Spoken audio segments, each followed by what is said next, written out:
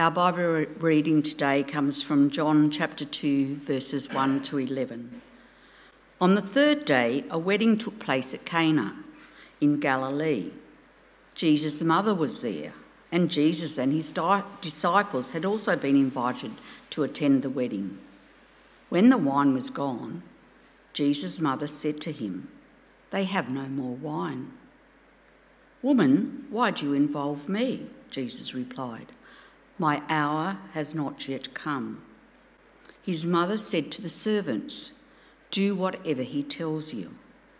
Nearby stood six stone water jars, the kind used by the Jews for ceremonial washing, each holding from 20 to 30 gallons. Jesus said to the servants, Fill the jars with water. So they filled them to the brim.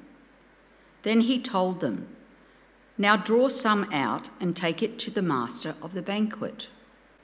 They did so, and the master of the banquet tasted the water that had been turned into wine.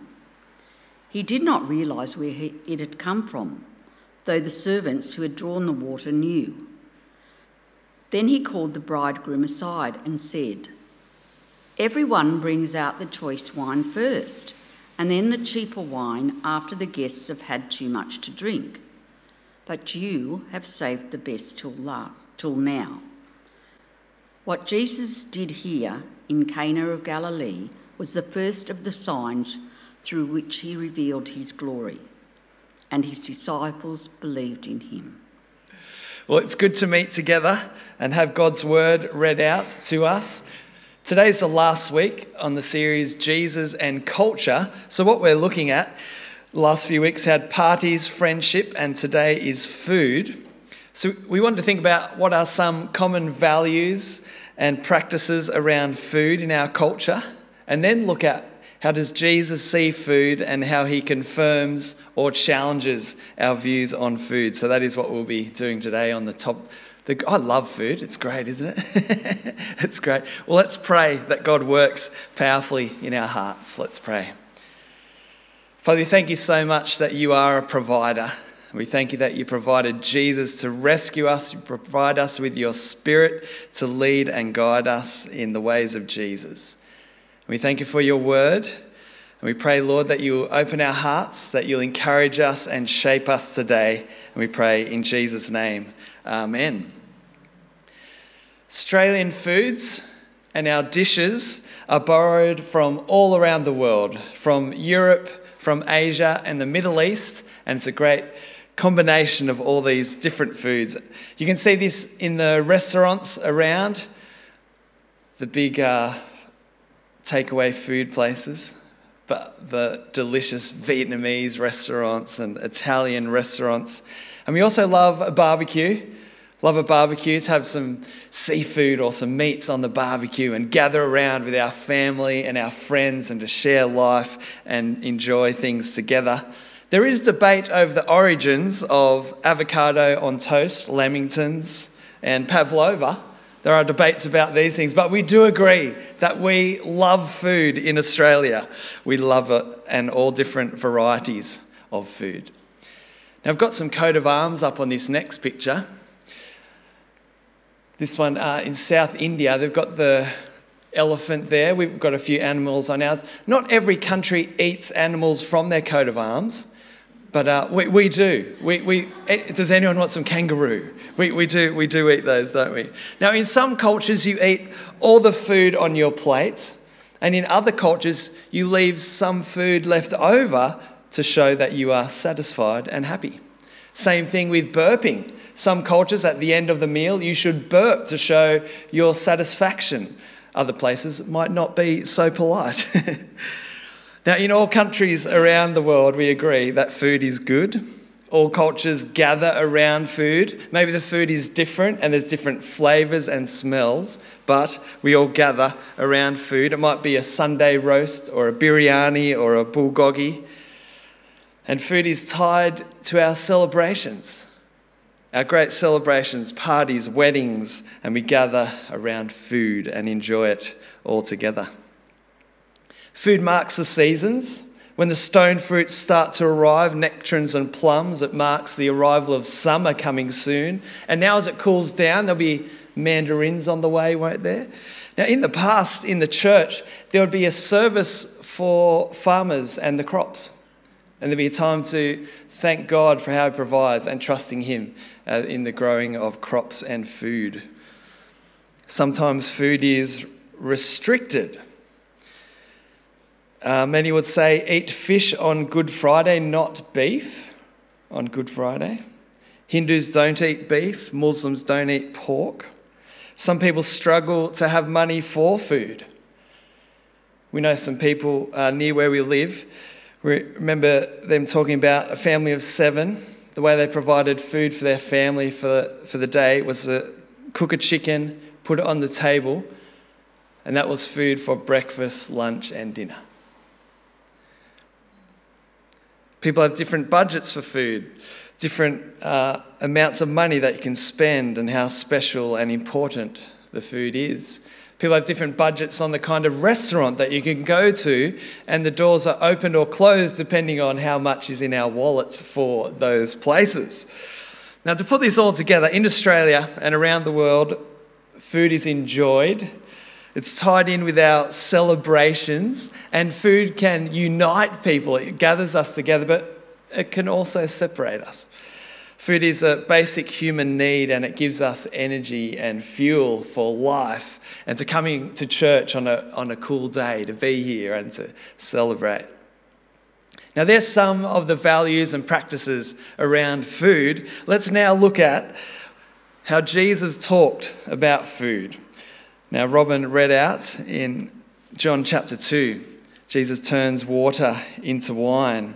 And so, in this story, he saves the embarrassment of the hosts and he records the first miracle that Jesus ever did, and it was to do with uh, drink, food and drink, his great provisions that Jesus makes. So, what they had was incomplete, it was not enough, and he provided what was lacking for them. In Mark chapter 6, 40, 41 to 44, Jesus feeds the 5,000. Uh, verse 41 Jesus took the five loaves and two fish, looked up to heaven and blessed them. Then, breaking the loaves into pieces, he kept giving the bread to the disciples so they could distribute it to the people, and he fed everyone. Like manna from heaven, like birds provided in the desert, Jesus is a provider. He gives, he loves with compassion, and he provides. And he calls on his people and us to trust God with our daily food. And in the Lord's Prayer, he teaches us this, doesn't he? Matthew 6 11, give us today our daily bread. Give us what we need. And then he applies this later in Matthew chapter 6. Matthew 6 25. Uh, that is why I tell you, do not worry about every about everyday life, whether you have enough food or drink or enough clothes to wear. Isn't life more than food and your body more than clothing? Look at the birds. They don't plant or harvest or store food in barns, for your heavenly Father feeds them. And aren't you far more valuable to Him than they are? So when we worry about food, Jesus challenges us that He will answer that prayer give us today our daily bread. He will answer that prayer it's because we know that God knows what we need. We're valuable to Him. So trust God with food for your daily life.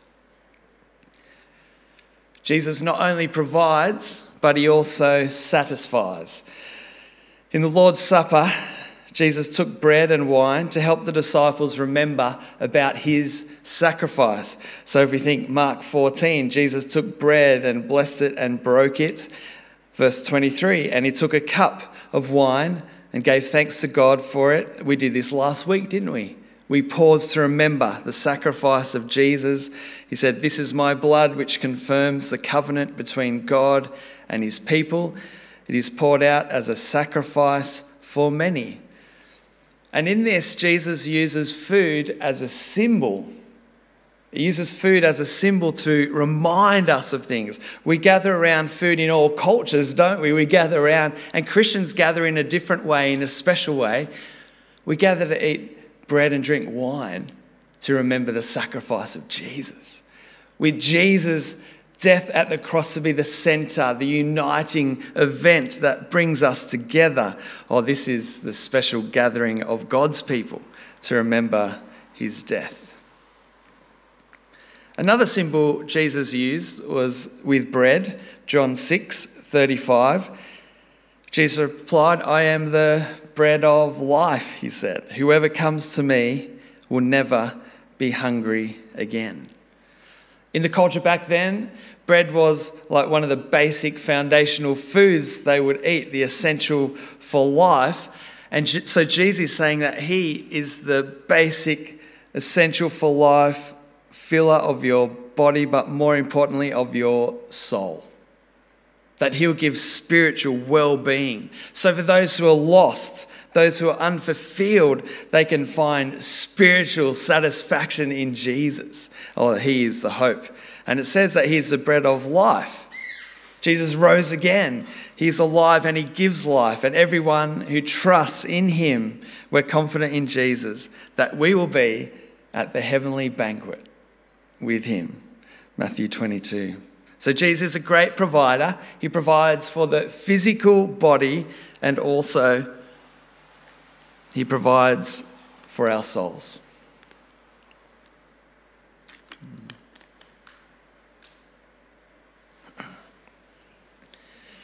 There's a story out of Africa of a famine, and a plane landed on a remote airstrip with supplies. They put the cargo on the airstrip. There was food and water and Bibles piled uh, on the tarmac. The people struggled forward, thankful for help to arrive in their community. And then the aid workers noticed something surprising. The people weren't going for the food, the people were going for the Bibles. They were starving. They were hungry and they were thirsty, and they're hungry and thirsty for the words of God. In a famine, in trouble, they were hungry for God's words because in God's words there is peace and life and hope that goes for all eternity.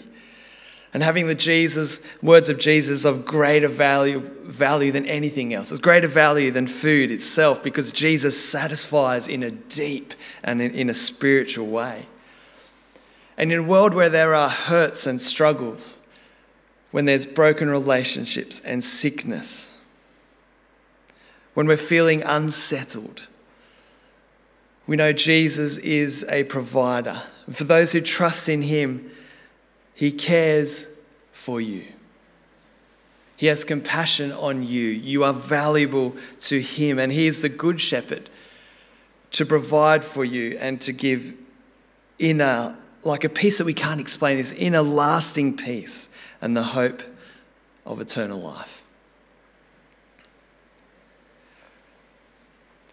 There's some of the principles that Jesus spoke of around food, how he used them as symbols. Let us think about okay, how are those values and principles confirmed or challenged uh, by Jesus in our culture? Well, in one way, we could say this enjoy food and be thankful.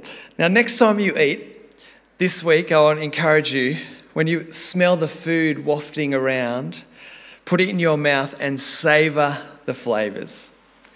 This week, maybe cook one of your favorite meals or make something new and pause and enjoy that time. Make it a moment where you pause and add meaning to your grace that day. Lord, my provider, thank you for this food that you have given to me. And teach it to your children and your grandchildren. This, this thankfulness. Teach them to savor and enjoy all the blessings that God provides. And because we know it doesn't matter how you eat, whether you know, whether you burp at the end of a meal or you eat with chopsticks or a knife and fork, that does not matter. But what does matter is that we eat in thankfulness to our God who provides for us. I remember in uh, COVID lockdowns, I started to do something different that I didn't usually do. I started to eat a lot of ice cream. Now, I, I don't normally have dessert. I don't normally eat much ice cream, but at that time, I just started eating a lot of ice cream and we enjoyed all these different uh, desserts at this time. Did you go back then? Did you like eat something or do something in response to the stress and things that was going on? Well, for me, I started eating ice cream and lots of it, and I must say that I lacked self control at that time, and.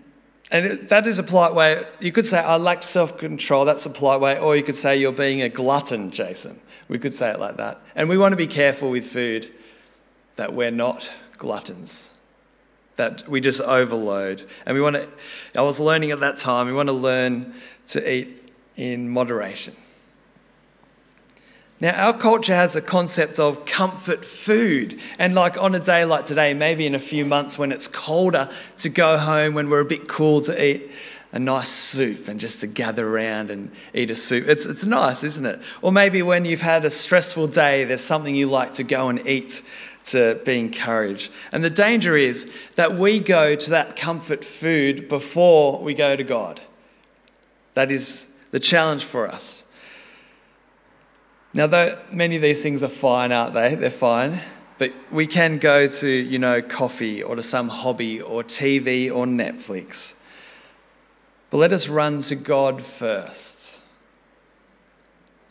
May our comfort place, our place of safety, be with our Lord who provides and cares for us. Another way uh, Jesus challenges, encourages us, encourages us around food is to be generous. We want to be generous with food like Jesus is generous with food. And I must say, in this community, it is wonderful to see the generosity that you show in sharing food. When people are going through challenges and food arrives at their house, just to show love and practical kindness. To see in the freezer there is food there. So if a family or a student comes or someone individual by themselves, whoever, if they come, we can say, hey, here's some food, a blessing from the church.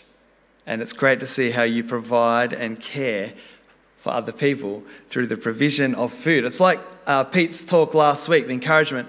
Our homes are a place of refuge, place of kindness, and he encouraged us to use our gifts to serve one another and the gifts that we have received in food to give those to other people.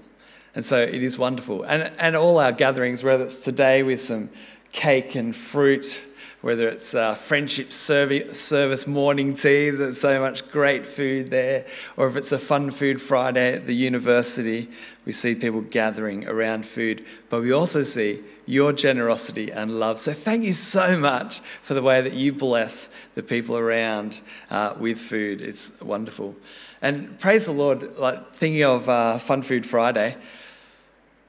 The week before, there were 115 students. Last week, there were 110 students. And at 5 pm, there's been 15 new people coming regularly over the last month. So we can praise God for that. And even better, there was nine students on Friday who met uh, for an Exploring Jesus course. And there are some people reading the Bible for the very first time in their lives and we get to walk alongside them. And you know what? We can do that together because we all do Fun Food Friday together. We provide the food for those students, and they meet around the food, and we love them and show kindness. And then also, we get to share them about the one who satisfies to the inner soul. Oh, it's a privilege and joy to serve with all of you and uh, to love people in our community all together. Another area where Jesus challenges and confronts us in a way is to be careful of food pride. Food pride. What are you talking of, Jason? Now, we can be proud of grandma's uh, cooking and her secret recipes. Is there secret recipes in, in your family? And there's, it's like, oh, wow, that food is fantastic and we enjoy it. And maybe there's pride, there can be pride in, oh, the the restaurants we eat at and where we go and the kinds of places, or with MasterChef after you cook, oh, this is the big reveal of the, the meal that we've made, and there's some active pride in our culture. Well, sometimes our passion for food can become a focus and even an idol in our lives.